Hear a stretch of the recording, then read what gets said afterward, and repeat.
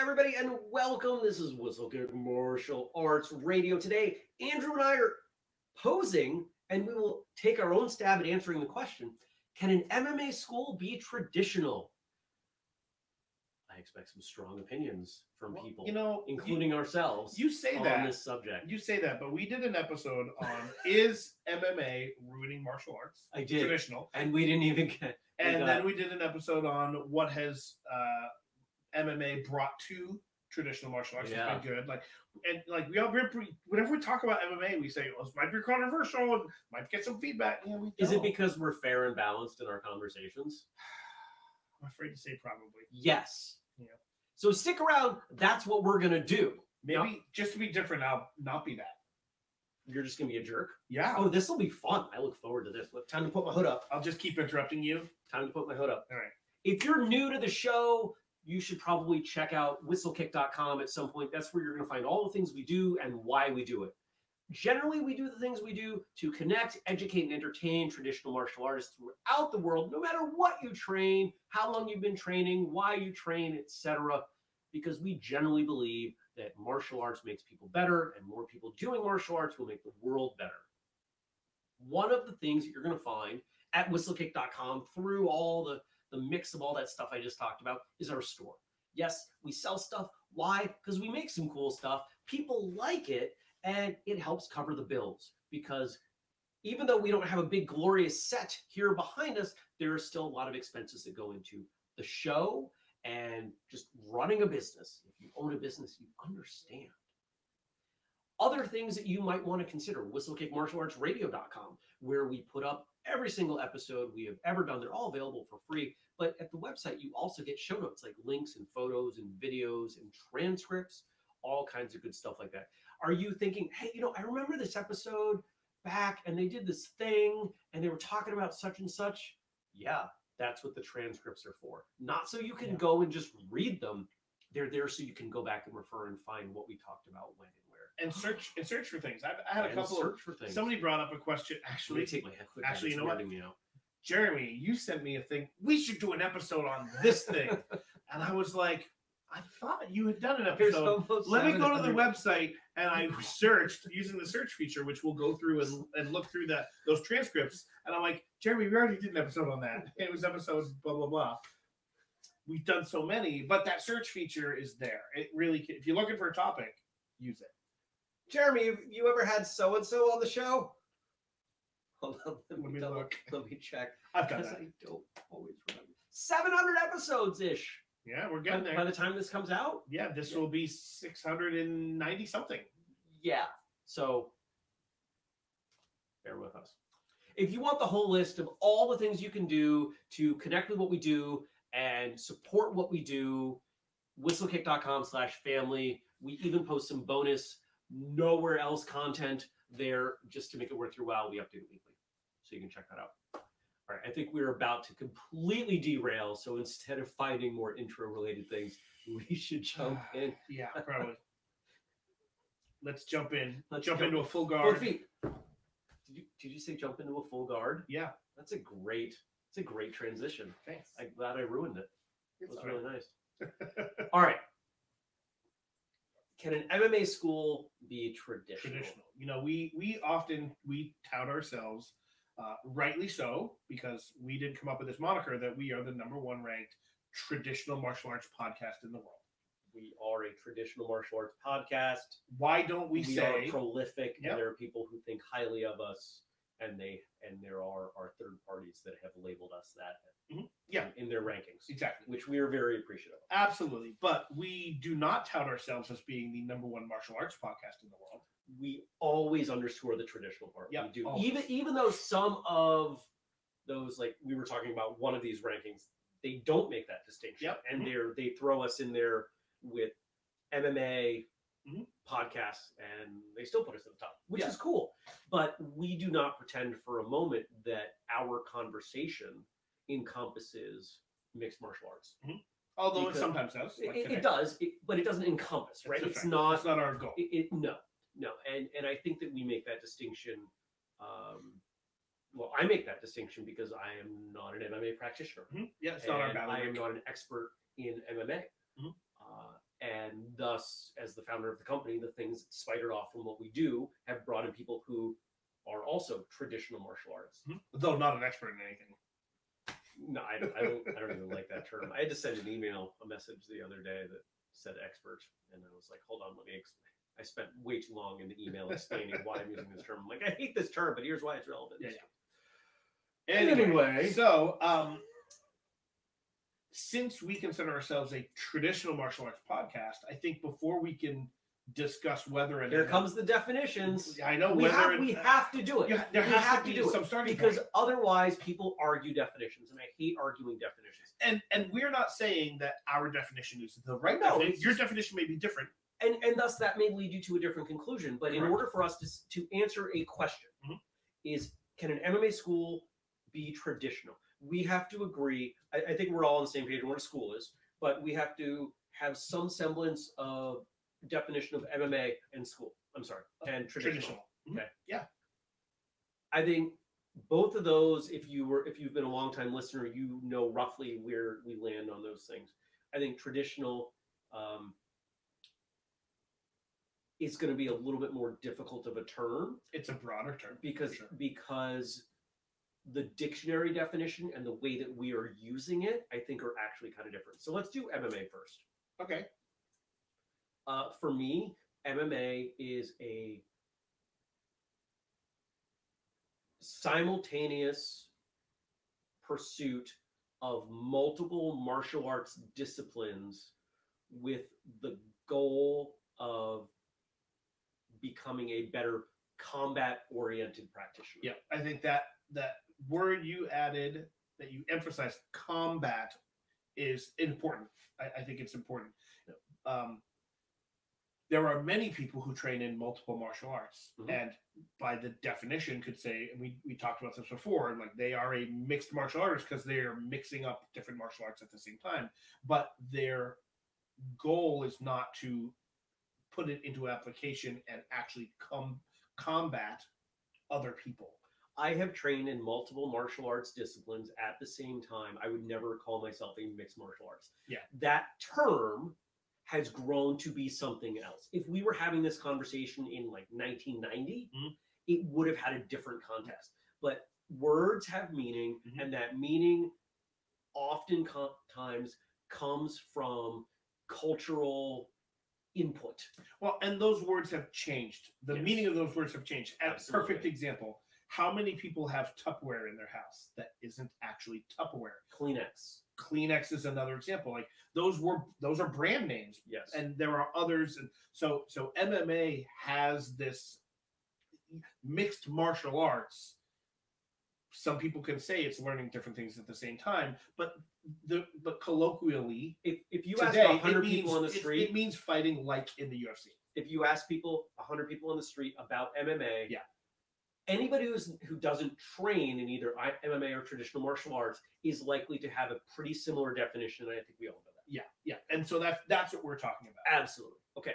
So that one's done traditionally.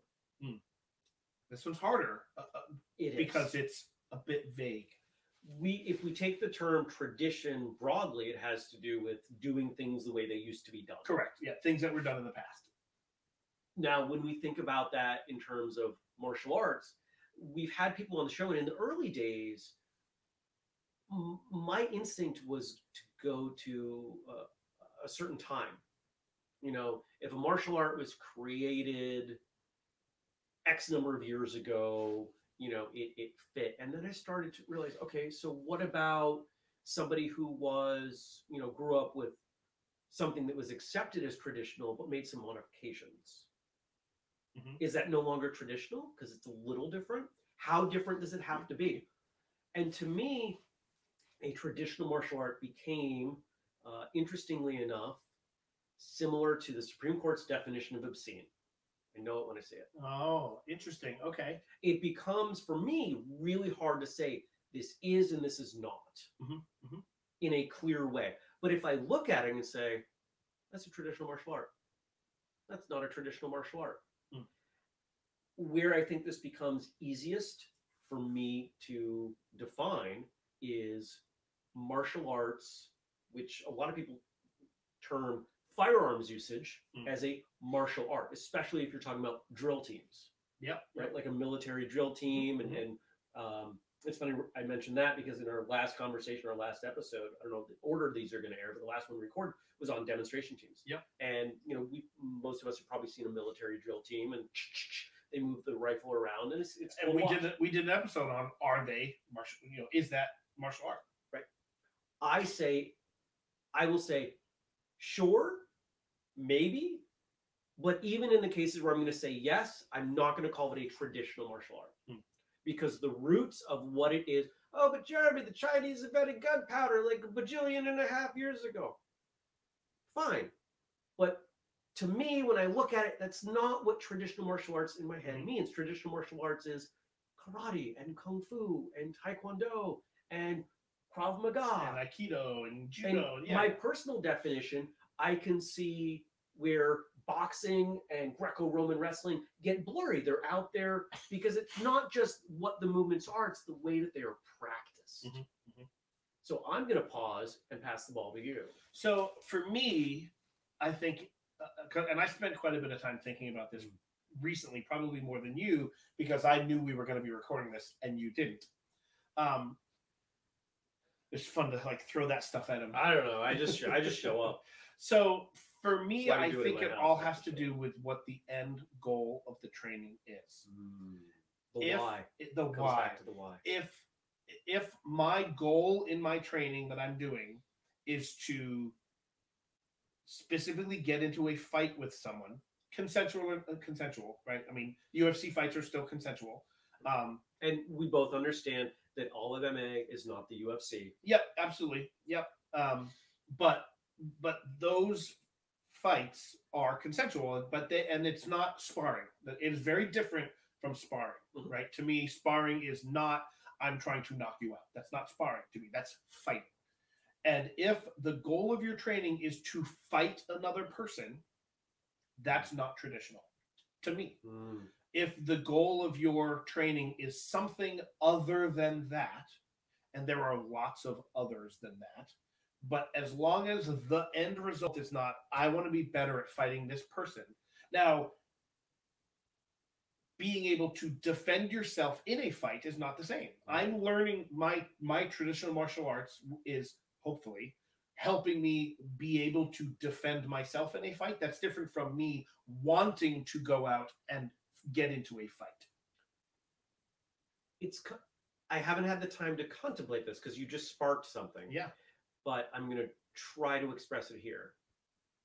The the goal for many people, I'd say the the broad why of traditional martial arts is about not fighting. Mhm. Ending it soon, growing as a person to not get into it, de-escalation, etc. The goal of MMA is about fighting. The goal of traditional MMA is about not fighting. Yeah, that's interesting. Now, not everyone's going to have those same Sure. that, that same view, and I don't even know that I fully agree with that. Mhm. But I can rough it out well enough that I think it gives me an interesting dichotomy to move forward from. Okay. Yeah. Is that close for you? Eh, That's pretty close. Yeah, yeah. I, I also, for me personally, um, I think there should be, and I, I stress the word should because I don't think schools have to do this, but I think there should be an element of improving and bettering yourself as a person outside of just learning how to punch and kick and, and defend yourself. Um, I'm not saying schools have to do that, but for me, I think that's a big part of it.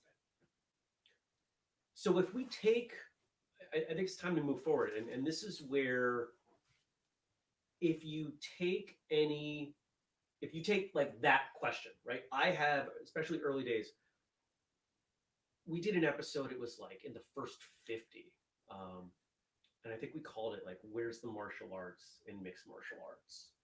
And I caught some flack at that point, and I am I am hundred percent sure that we lost some listeners at that point Hmm. because I had some friends who were practicing MMA and they were supporting the show in the early days. They liked what I said, and then we came out with this episode. And one of, if I remember correctly, because we're going back years now, one of the common comments was, "I have become a better person because of my MMA training." Mm-hmm. Yep, I get that. Okay. But I can walk into if you if you put everybody in common clothing, a common space, right? Like the same space, some generic space. And I walked in and you found a way to adjust faces, heights, voices, because let's face it, MMA tends to attract a, a um, a certain age male A population certain type of demographic. right like Yeah. We can we can say this objectively not that it's only for those folks but it tends to attract them Mhm. so if we were to find some way to obfuscate so i didn't know and i simply had conversations with people about their training and their reasons for training i would be able to tell which school i was at Mm. Yep. okay further i would contend that even in that same scenario I would be able to identify people, identify the school based on the way they interacted with each other. And I don't just mean like, you know, honorifics of rank and things. So let me put a finer point on it. The MMA schools that I have been to, which is not many, Mhm. admittedly, especially con- compared to the traditional martial arts schools I've been to, which is a large number. The MMA schools I have been to, I don't see as high a percentage of people becoming better versions of themselves. They may become better fighters. They may become stronger, faster, better practitioners of Mhm. their art. I don't see the personal development side happening. I mean, I, I could see them becoming more confident with themselves, but Mhm. sometimes that, sometimes that's a bad thing, depending on That is not always a good Yeah. Well, confidence is always a good thing, but it it could exacerbate other other issues. other qualities Yeah, yeah. That of- that's of a one's better way to put it. personality. Yeah. I believe that in a traditional setting, broadly across, you know, ages, populations, if, if you take a random sampling of, let's say, 100 people engaged in a karate school, taekwondo school, kung fu school, capoeira, you know, whatever, martial arts that are clearly on, on well into the traditional definition, Mhm. right? And you take a hundred people involved in MMA, and you were to follow them for five years of training, and come up with some rubric for determining have they progressed personally? Are they better people? By whatever broad societal definition you want, which would be pretty broad. right? You know, we we by by societal definition, we could say, you know, they are kinder, they volunteer, Mhm. they they um, don't start fights in bars, you know, things like that. I would be shocked if the traditional group did not progress more on that personal development side than the MMA side. Yeah, I, I would I would tend to agree with you. Could it happen? Yes. And that's Mhm. and and this is where you know I'm not going to talk about a specific school yet. You know, we're we're, Yeah. we're narrowing in, right? We're getting there.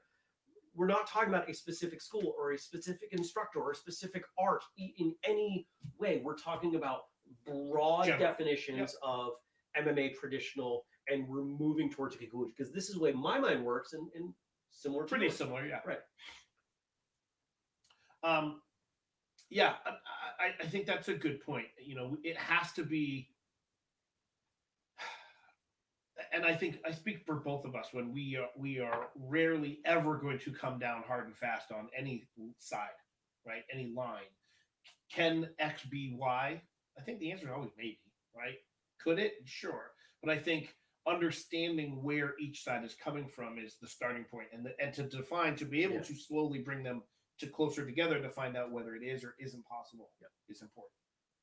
So if, if we if we are what we have just said is that MMA schools are generally, at least generally, Yeah, not traditional schools. I would agree with that statement.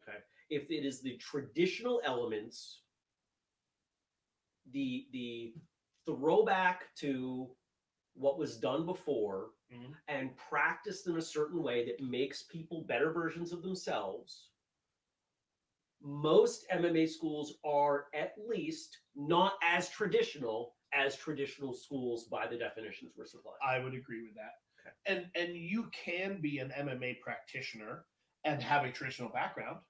There are Quite- tons of them. Quite a few. Yeah. Uh, I don't know if I would say most. I don't know that, but at least many. Yeah, I don't I don't know that I would say most either, but there are certainly uh, uh, you know a, a bunch we could all name right now Mhm. easily, right? So that can happen. Sure. Um, I don't know that I've uh, that I know of many MMA guys that have gone the other way though, that have done UFC type fighting, MMA fights, Mhm. and then said, you know what, I want to learn traditional stuff. Maybe maybe it's happened. I'm sure but, it's happened. but but it's not as common. It's I would say. probably a, a, a the direction. It's probably more so in Yeah. the first direction. yeah, I would agree. You know, it's interesting as we as we unpacked a bit of the last few minutes. Mhm. I think we got to our answer. I think the answer is yes, it can be. it can happen, but I would think it's rare. I would think that because again, if you are training MMA, could you train in a could you train with the expectation of not getting into a an action your the goal being to get into an actual fight? It could. Um, there are not many and I think the, the schools that do teach it to kids probably would agree that they're not really teaching MMA to kids. They're teaching jujitsu, Bra- Brazilian jiu-jitsu perhaps, but they're not teaching them to beat the crap out of each other. There are some schools. There are schools, and actually, um, as a, as a small tangent, I have read about how common this is. I can't say. My suspicion is not common, but I have read about schools that have fights with teenagers. Interesting. Wow. Where, yeah, yeah, which, oh, it, it doesn't take much understanding of brain development to know why that's a terrible, Terrible idea. Yeah, yeah, yeah. But But, but could you train an MMA school that is not specifically training their students to get into an actual fight with someone else? sure, Sure, you could, but I don't know that that's going to be the majority of the case. The time it's going to be the other way around. Some of the best BJJ training Mhm. occurs in MMA schools. Mhm. I I feel BJJ is a traditional martial art. It can be trained in a traditional or Yep. not And BJJ is not MMA. It is not. A lot of mm-hmm. people will will equate those. They're not. Mm-hmm. Okay. And you know because we've had plenty of BJJ practitioners on the show. Yeah, I mean, just a few weeks ago we had Bernadette on it. Phenomenal BJJ practitioner. And I would undoubtedly term her a traditional martial artist. I would, yeah, Whether or not she would accept that definition, I don't know, but that is how Yeah, I see yeah. Her. yeah, I- and I would say as well, like I do not see her as an MMA fighter. Right. So, what is the difference between an MMA school that is traditional, that trains in a traditional way? Because we're not we're not conflating the two. We're not saying that there is a style that is traditional MMA. That that's not what we're saying. We're we're we're taking these culturally appropriated definitions Mhm. And we're kind of hybridizing something. So what is the what is the difference between a traditionally training training because active uh, MMA school versus a non-traditional one? That's a good, yeah, uh, that's a good question. I mean, I think that it, to me it just still comes down to what the what the why is, the end result. Sure. I've got a good example of something I would expect to see at one versus the other. Would it have to do with paying homage to what happened before? No, Okay. it has to do with with paying homage to your training partners. Oh, you're thinking It has to do with it has to do with the respect. Yep, Now, yep. here's where I started to think about some of these things differently. I started attending some amateur MMA fights, and this goes back years. Mhm. And I saw some people bowing to each other. Yeah, yeah, I've seen other, that. and people after fights hugging, Hugging. Yeah. genuinely appreciating the opportunity to test each other's skills Mm. and to get better in the ring because of their mutual willingness to put their body on the line. Yeah. To me, that is a very traditional mindset. Yeah, I would agree. I would, it certainly can happen. I have a, a friend who, in their 50s, decided to get involved in MMA Cool. uh, and took a couple of amateur fights Mhm. as in their 50s. Like, that is very rare. Uh, and he was fighting someone else who was also in their 50s. Um, and they got in the ring and they had a good scrap. And by the end, they became great friends. Like they're very good friends now. Um, And I would suspect if we went to their gyms, Mhm. it would be more common to find that tone of respect Yep. instituted across the board. Yeah. and I can't speak to his opponent because I, I don't know him and Sure. didn't talk to him. But my friend that got involved started in a traditional school, so he's used to that mindset of bowing, of respecting your other person. And when the fight was over, uh, I mean, my friend lost. Like he got he got knocked out. Like Mm. we his side threw the towel in. It wasn't. It was a you know TKO. Sure. Um, but he lost. They still became really good friends. And you're right. that Some of that would have come from that potentially from that traditional mindset of respecting your opponent. And why why do I say that it is more likely that he had that tone instituted in the school? Because especially if if it had to come solely from him, my and he valued that, my guess is he would not have lasted terribly long in that gym, Mm. right? Because it, it's kind of a counter. Yeah. it- it's a counterpoint. I so we've got to yes. Mhm. I think we've unpacked some of the differences. Is there anything still hanging? I don't think so. I th- it, can it happen? Yes. I think it would be rare and uh, and it wouldn't happen often, but it could happen. I'm going to call it uncommon. I'm not Yeah. going to call it rare. Part of it, part of the reason being that, you know, I haven't stepped foot in the hundreds of mar- traditional martial arts school, hundreds of MMA schools that I, I have on the traditional side over the years. So I don't have as big of a sample fair. set. Yeah. So I'm less confident in my opinion That's on fair. that side. That's one. Two, a generally respectful MMA fighter isn't going to stick out. Mm. They're going to do nice things. You know, Yeah, they're going to bow. They're going to maybe Yeah. they don't even bow. Maybe they're just fair to their opponent Mm. and they don't cause a stink. It's a lot easier to spot an outlier, someone who is causing a ruckus. Yeah. And- squeaky wheel gets greased. Yeah, and, and so I, I recognize that there is an inherent, especially a media bias, right? Because where am I backfilling this information from? It's from media. Yeah. And so I'm trying to be aware of that. That makes sense. And if people feel differently, we, want, we as always, we want to hear. Yeah. We want to know what you think and Do you have a think. different definition of traditional or a different definition of MMA? Like, Does it lead you to a different conclusion? Yeah. Um, I'd also really love to hear from anybody who trains at an MMA school Mhm. that they feel satisfies my definition. Mm. May- Maybe I'd go so far as to say our Yeah, definition. yeah, yeah. We, we were on the pretty same close? page Yeah. because I'd like to visit. Because I'd like this is a place, you know, anytime I feel like I'm lacking in understanding, I try to I try to get there. I try to improve. And so this is a place where maybe making some visits as I'm traveling could help me understand better and I'm certainly open to that. Awesome. Cool. If you want to support us, remember we've got lots of ways. Use the code podcast15 at whistlekick.com. Maybe the Patreon, patreon.com slash whistlekick. If you want the full list, it's whistlekick.com slash family. Website for the podcast, whistlekickmartialartsradio.com. We're on every podcast platform you could imagine, but if you want to watch this show, we're on YouTube. Our handle there, like everywhere, is at whistlekick. If you've got feedback for us, I'm Jeremy at whistlekick.com. Andrew's Andrew at whistlekickmartialartsradio.com. We work hard to bring you a lot of good stuff. And if you value it, you know, lots of ways you can support, share, whatever works for you. Training programs and else? Anything else? Patreon. Patreon.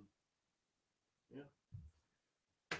I like doing these conversations. These It's are good. fun. I, Yeah. I like Makes me makes us think, right? Yeah, and I, I enjoy thinking. It and that's our goal. Hopefully, it makes you think as well. You know, out there listening and watching. We want to know what you think about the thinking that we thought. And on that note, Until next time, train hard, smile, and have a great day.